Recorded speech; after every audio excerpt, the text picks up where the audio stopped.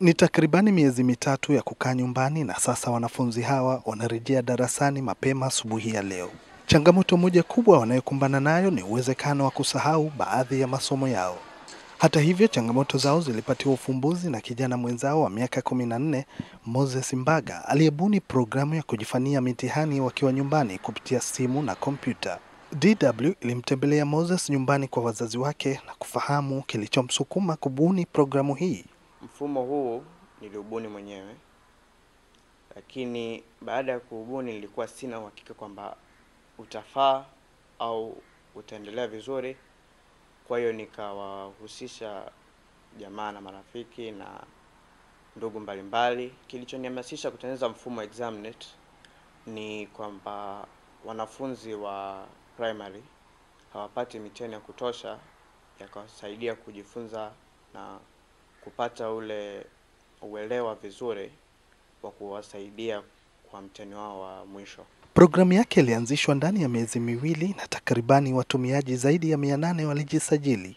Ilifanikiwa kutoa mitihani na majaribio zaidi ya mia tano na wanafunzi waliofanya mitihani hii kupitia programu iliyopindikia laki mbili.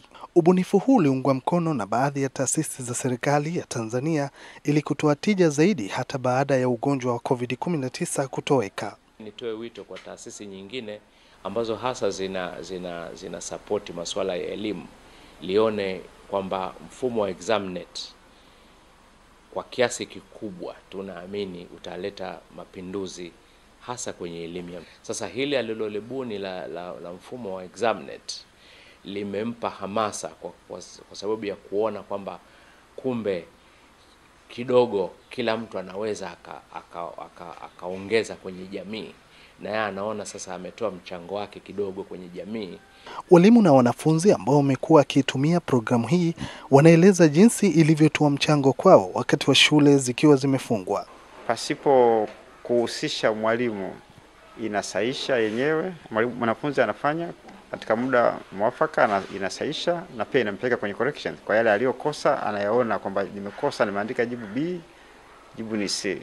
Nisaidia kwa sababu walimu we- walimu kwa sababu wanafunzi wengi hawakuwa na walimu, tuition zilizuiliwa, lakini kwa sababu wazazi wetu wana simu ilitusaidia kufanya hiyo mitihani, tusisahau walimu wetu walichotufundisha. Masikini msaidie elimu na usimpe pesa.